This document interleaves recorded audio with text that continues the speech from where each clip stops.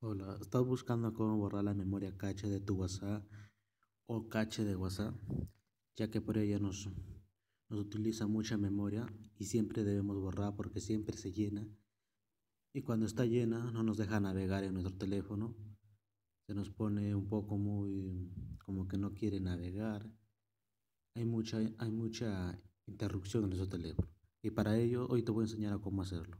Lo primero que va a hacer es irnos al icono de, de configuraciones o ajustes de nuestro teléfono móvil. Yo voy a ir a ajustes o configuraciones. Hacemos clic. Una vez que hemos hecho clic, nos vamos a, a buscar la, la opción de aplicaciones. Hacemos clic en aplicaciones.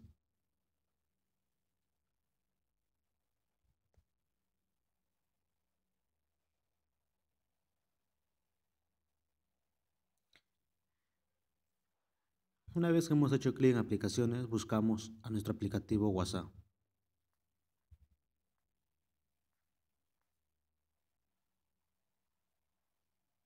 Como ven acá, yo tengo WhatsApp acá. Hacemos clic en WhatsApp y después hacemos en almacenamiento. Una vez que hemos hecho almacenamiento, borramos datos. Al borrar datos, se borran todos los datos de, nuestro de nuestra memoria cache de WhatsApp. Lo que vamos a borrar son audios, videos, fotos, lo que, lo que pueda tener en nuestro, en nuestro WhatsApp. Una vez que seleccionamos lo que es borrar, borrar datos, se va a borrar toda nuestra información. Así que procedemos a hacerlo. Aceptamos. ok.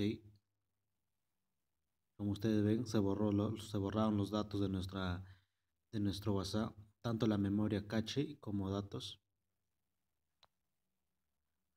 Así es como se borra la, la cache de nuestro WhatsApp para recuperar mucho espacio, ya que WhatsApp es una aplicación que siempre ocupa demasiado espacio.